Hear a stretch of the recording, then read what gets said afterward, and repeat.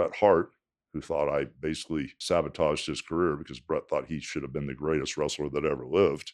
And he said it was my fault. I won the belt from Yokozuna at WrestleMania where Bret lost. And I, Bret told me to go in the ring and wrestle him. And I won the belt right after Bret wrestled him. And then the deal was, was for me to drop it back to Yokozuna.